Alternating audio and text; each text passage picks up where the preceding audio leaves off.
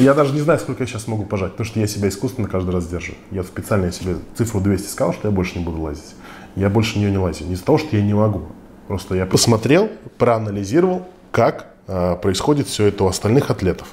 Как происходило остальных. Когда у них начались проблемы со здоровьем, когда у них начались травмы. Потому что я так считаю, что у каждого у нас есть э, какой-то вот резерв по запасу здоровья организма. Именно тут скелет, связки, суставы. Постоянное вот это вот использование его без отдыха, без реабилитации, оно постоянно, ну вот, вот я думаю, это получается сколько, как раз вот где-то с 15 лет по, это где-то 9-10 лет, и потом начинается проблема. Как машина нужно делать грандиозное ТО. Но чтобы э, дико не изорваться и не, не взломаться, я просто посмотрел, как это было у остальных. Там, посмотрел, как Малан. Малан год не выступал, отдыхал, и сейчас ему сколько? Ему 40 лет. А он в троеборе до сих пор выступает.